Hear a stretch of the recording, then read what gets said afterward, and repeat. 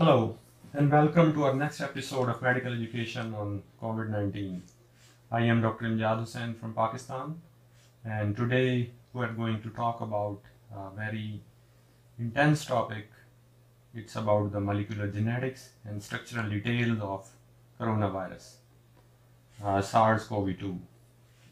I'm going to dedicate this talk to the loving memory of my father, who had always inspired me a penchant for learning and teaching. And he has always been a great teacher and learner in himself.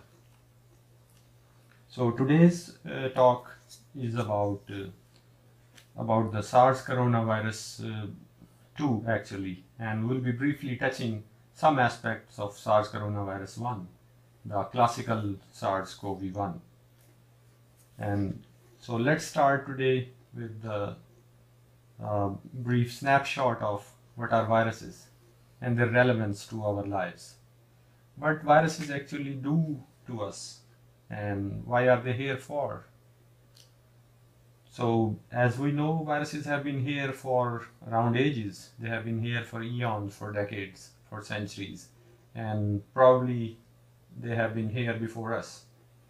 And it's a new knowledge to me that uh, viruses are even incorporated uh, in our human genome and they make about 8% of the human genome.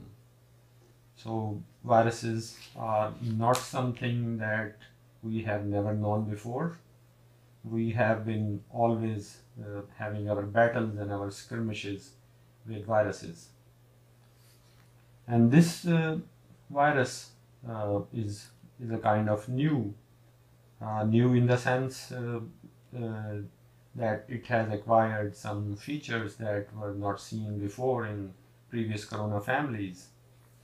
So coronaviruses are basically uh, there has been seven human coronaviruses and out uh, and these are subdivided into four genres actually alpha beta gamma and delta coronaviruses and as we know, coronaviruses are abundant in animals, and animals, uh, especially bats, are reservoir for uh, coronaviruses.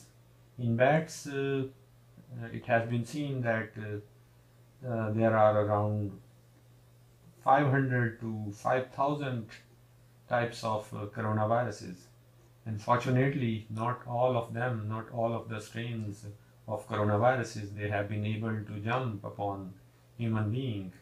And as we have seen, there, ha- there has always been an intermediate host uh, before a zoonotic virus is successfully able to jump upon or what we call the spillover effect uh, in human population upon human race.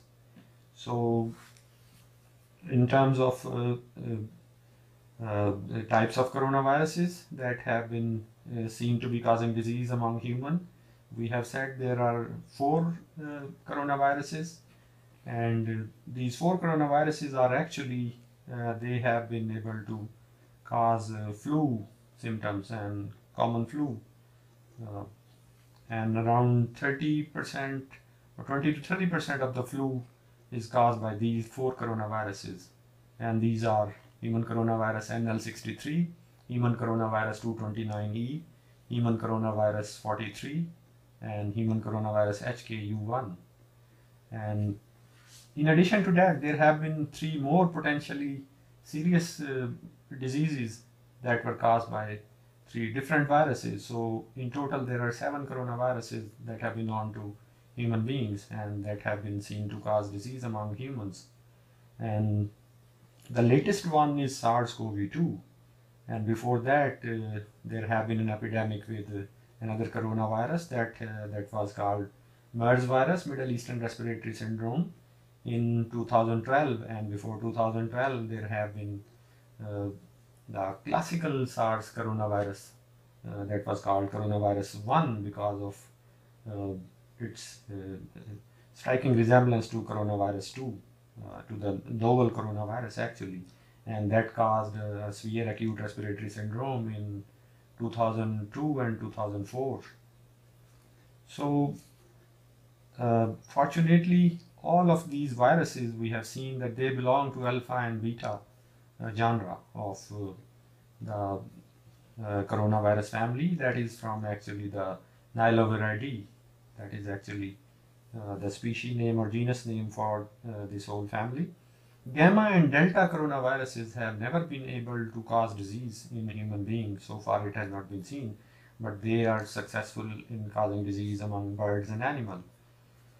So in some ways, uh, virus do find a way of uh, jumping from animal reservoirs to humans, and there is a there has always been an intermediate host. And in case of uh, coronavirus 1, that intermediate host uh, was identified, and it was actually civet cats. And civet cats were actually culled, and that's how they were sacrificed, and that's how the disease was contained.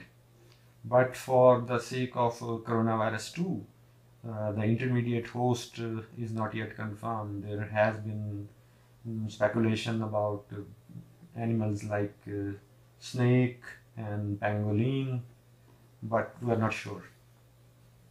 So the difference between coronavirus 1 and 2 is uh, coronavirus 1 has been able to successfully create clusters in hospital.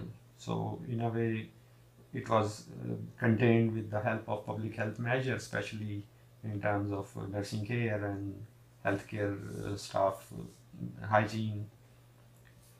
And the coronavirus 2 uh, is different from coronavirus 1 in terms of its potential for community transmission. It has been able to successfully create large clusters of uh, in population and as we have seen the recent epidemic of COVID-19 is uh, is going to uh, a high figure of uh, almost infecting more than 230 or 240 countries of the world, and it has infected around a figure of 100,000, 10 lakh people, and the death rate from uh, this uh, this scourge is uh, around uh, more than 50,000 deaths so far. So it's devastating in terms of its infectivity and uh, its death rate and uh, spread of uh, spread of infection. The successful way it's spreading from countries to countries.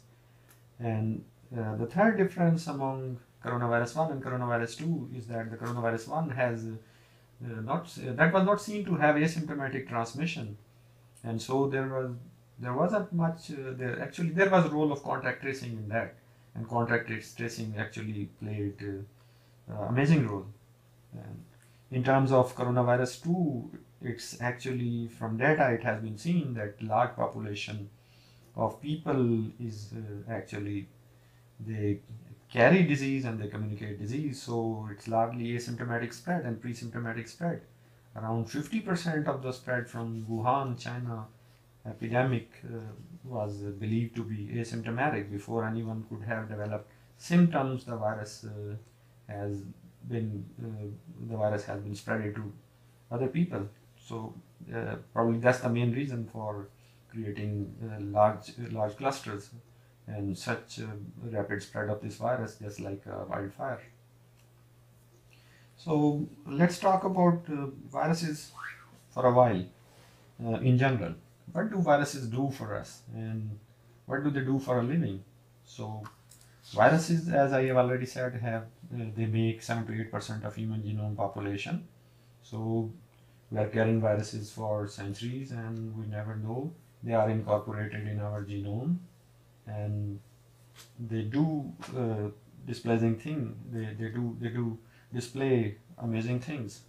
For example they have the uh, amazing microeconomic skills uh, through keeping small efficient DNA or RNA sequences and even some of them have positive sense uh, sequences like uh, this coronavirus 2 and that uh, gives it the efficiency to be translated uh, and latched upon right away to ribosomal part of RNA and that adds to its, its expediency.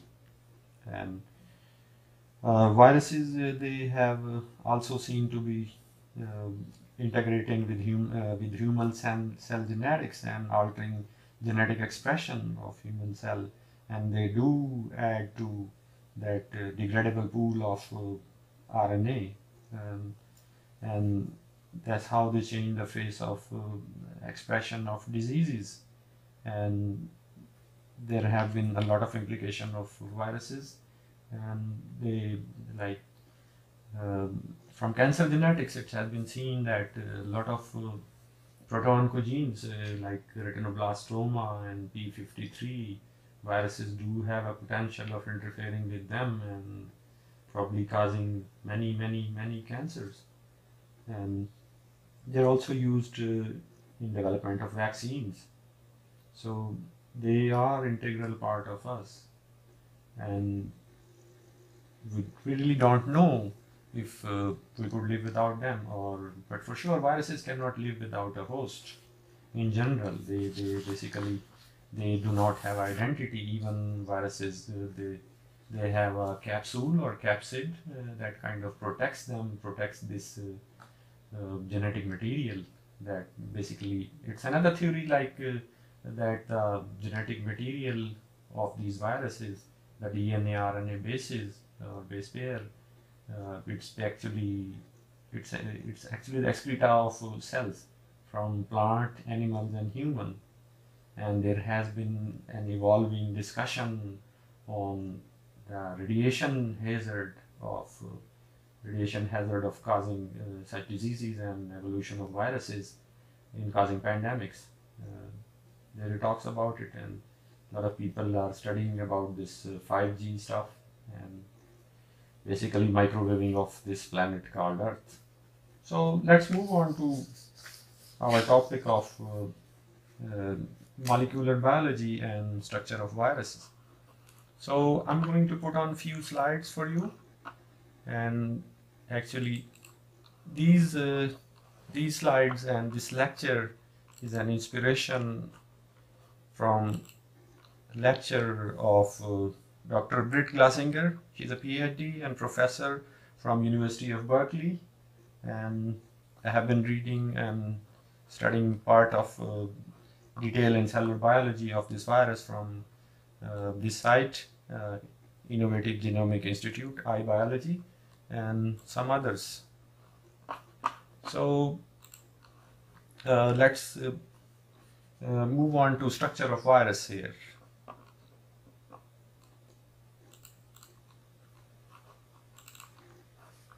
So uh, this is a pleomorphic particle of 125 nanometer with a helical nucleocapsid.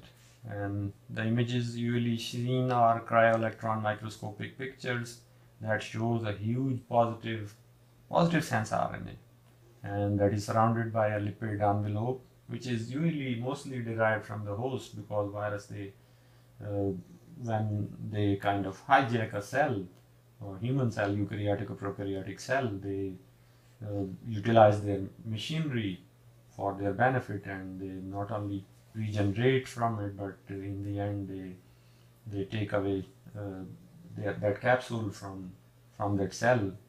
Uh, just like a stolen thing from a house somebody is going to visit. So this uh, virus have matrix protein. So matrix proteins uh, that is most abundant on lipid bilayer and it connects basically the membrane of uh, uh, this virus to nucleic acid and because it has kind of two transmembrane domain and another domain that connects it to the nuclear material of the virus and from the outside world in a way. And this envelope protein is important for the formation of these virus particles. And then there is another important protein that is called the spike protein. Uh, spike protein is important uh, and we are hearing a lot about the spike protein because most of the research that will lead into the vaccine development um, and virus infectivity, its entry into the cell is about that uh, spike protein. Because spike protein that has a globular upper part that is called the receptor binding domain and there is a lower part that has a, a fusion protein that, that helps uh, and this whole spike protein actually it helps the virus to latch on to human cell through a receptor on respiratory epithelium and other cells also uh, which are known as ACE2 and angiotensin converting enzyme 2 receptors and basically it's a, a function of these uh, these two fusion and the receptor binding domains of the spike protein. So receptor binding protein RBD of SARS-CoV-2 and SARS-CoV-2, uh, SARS-CoV-1 and sorry SARS-CoV-2 have six critical amino acids, and that is necessary for its interaction with the ACE2 receptors, and five of them uh, are different from SARS-CoV-2. So in a way, it's not uh, that similar. SARS-CoV-1 and SARS-CoV-2 are not that similar as we have expected and there is also a lot of uh, polybasic cleavage site basically uh, that are effective cleavage site by many proteases. So that's uh, one advantage uh, or disadvantage. It could be a disadvantage of human cell but it's an advantage to virus replication and the expediency transmissibility of this virus. And that uh, specific polybasic uh, cleavage sites they they are amenable to uh, proteolytic proteases like TRMP, RSS2, uh, and that has also been seen uh, together to that uh, fusion molecule that uh, that we usually see when the spike receptors latch onto the ACE2 receptors, and that's how the virus gains entry. So its genome is estimated to have 14 open reading frame. So it has a lot of open reading frame and that basically encodes for about 27 proteins.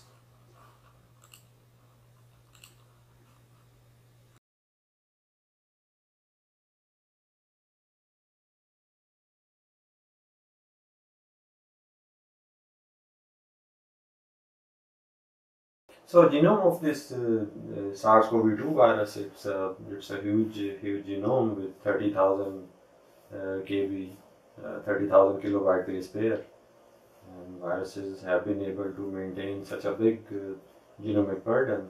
Um, it's an unusual feature although. And there have been other varieties of viruses like uh, mini virus and mama virus and other varieties too that have large size uh, too in addition to the uh, large size of genome. So the most important thing in this uh, in its genome uh, that encodes for 27 protein. So most important is the RDRP, the RNA dependent RNA polymerase. And it's usually not required uh, and it's usually transcribed from genomic RNA uh, directly for genomic sequences of non-structural proteins. While for other structural protein transcription in uh, the cell uses uh, these uh, SARS-CoV-2 uh, cells, uh, viruses, they use the discontinuous transcription through a novel technique of shared transcription regulatory sequences. So the TRS regions. So uh, there is there is a lot of polymerase jumping because of these uh, uh, the transcription regulatory sequences. What's going on is uh, uh, uh, there is a lot of jumping of uh, these uh, open reading frames, uh, these sequences, and that actually creates that actually helps or creates the mutational potential because of the frame shift thing that happens during these episodes because of these jumping episodes and that is a unique feature to this coronavirus. So we're going to talk about another important protein uh, that is that is called NSP1. So basically, NSP1, a non-structural protein, uh, is the real factor for pathogenesis or pathogenicity of this virus, and basically that acts through restricting host gene expression. So in a way, uh, that protein is a shut-off mechanism for uh, the human uh, human cell for human cell genomic transcription and it shuts off, it sends a shuts off message to uh, the cellular mechanism to stop making proteins for its own use. And so that creates a broadly accelerated mRNA degradation in those cells. And by blocking those uh, ribosomal 40, 40S ribosomal units, and the virus uh, mediates uh, uh, endonucleolytic cleavage of these RNAs. So there is a lot of degradation of those uh, human mRNAs. So um, and that is very important in terms of uh, not just the pathogenesis or infectivity, but it also delays the response of human cells, the response of uh, human cells in informing and asking for help to the interferon interferon mechanism. So that is one reason for delayed interferon response in cases of COVID-19. So there is a specific cleavage site of host RNA and virus RNA survives this NSP1 cleavage. So most of the snippets or cleavaging is going on with the human mRNA and the virion mRNA is going to survive it. So it's going to keep on making its own proteins and its own things at the expense of uh, human cellular uh, genome or at the expense of human cellular protein. And but this is so far the most important factor in virus survival as it's uh, blocking and delaying interferon response. Mutation of this NSP1 gene is a potential site for vaccine development strategy. And scientists are working on this NSP1 gene. If they could uh, mutate it, probably uh, that could uh, give us a molecule and virus would not be able to suppress and delay the interferon response of human cell and that could even uh, add to less severity of disease early recovery. So the virus is able to reach a high initial titers due to lack of or late interferon response and it causes an aberrant recruitment of uh, other pathogenic inflammatory monocyte macrophages responses and activation of innate immune responses that is leading to cytotoxicity and that is probably uh, the that probably leads to the cascade of events uh, causing acute lung injury and acute respiratory distress syndrome that is the hallmark of this disease. So neutralizing antibody responses and memory B cell. So virus has uh, acquired a lot of new arsenal and, and these responses are actually they are short-lived on SARS recovered patient. It has been seen that the neutralizing antibody responding and memory B cells uh, responses are short-lived on the people who survive from this COVID disease. So except for a few outlier population, the immunity probably wanes with SARS-CoV-1 virus and with SARS-CoV-2 virus we are not really sure about uh, the extent of uh, immunity people uh, gain from uh, after clearing off this virus. Uh, it could be a month or it could be few months or it could last uh, a few years uh, we're not really sure. And we're still learning. So thank you very much for listening to this talk. And today we had the occasion of recording this session from the comfort of uh, my home. Actually it's my study room where I used to study uh, especially during days of uh, mini fellowship uh, with that University of Nebraska Medical Center with Dr. Danish Bhatti. Uh, he has always inspired me. Um, so we're going to continue again on this topic uh, with a few more slides. So thanks again and good night.